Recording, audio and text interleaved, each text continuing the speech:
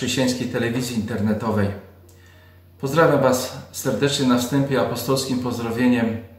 Łaska Pana naszego Jezusa Chrystusa, miłość Boga Ojca i społeczność Ducha Świętego niech będzie z Wami wszystkimi. Dziś mamy 30 dzień maja 2021 roku. Dziś przeżywamy także dzień świąteczny, mamy niedzielę, a na dodatek przeżywamy święto Trójcy Świętej. I na ten dzień Kościół składa nam w darze biblijne hasło zapisane w naszej książeczce z Biblią na co dzień, a wyjęte jest z Księgi Dziejów Apostolskich z czwartego rozdziału wiersza 33, gdzie tak jest napisane. Posłuchajmy. Apostołowie zaś składali z wielką mocą świadectwo o zmartwychwstaniu Pana Jezusa, a wielka łaska spoczywała na nich wszystkich. Głoszenie Słowa Bożego z odwagą oznacza nauczanie przed dużym tłumem ludzi. Nauczaniem w celu pozyskania lub inaczej powiedziawszy, pobudzenia serc potencjalnych wierzących i nowych wyznawców.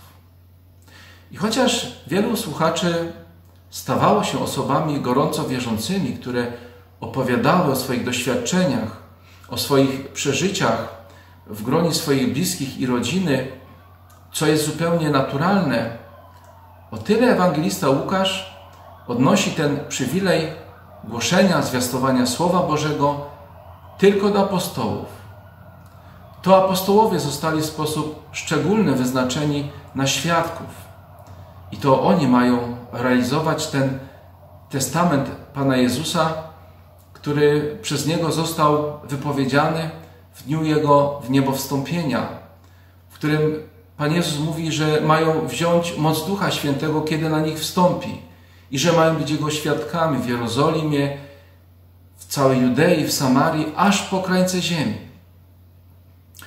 I my wiemy, że wiele osób widziało zmartwychwstałego Jezusa, ale tylko apostołowie zostali tak formalnie, tak oficjalnie powołani na świadków. Ktoś może zapytać, dlaczego tak właśnie? Dlaczego nie inni?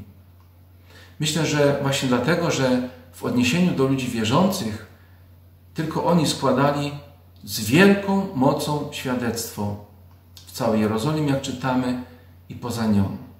To właśnie oni trwali w nauce apostolskiej, we wspólnocie, jak czytamy na innym miejscu dziejów apostolskich, na łamaniu chleba i na modlitwach. I wokół właśnie tego świadectwa gromadzili się wierzący, i co więcej, jestem przekonany, i będą się gromadzić nowe pokolenia wierzących. Z tego świadectwa płynie, płynęło i będzie płynąć ich wiara i miłość. I my wszyscy potrzebujemy słuchać tego świadectwa ciągle na nowo, tak jak będą tego potrzebowały przyszłe pokolenia, o czym jestem przekonany. Zmartwychwstanie jest bowiem ukoronowaniem i zwieńczeniem Bożego dzieła naszego zbawienia. Jest dowodem boskości Jezusa. Zmartwychwstanie dopełniło sens życia, cierpienia i śmierci Jezusa. Dlaczego? Dlatego, gdyż usunęło wszystko, co oddzielało nas od Boga.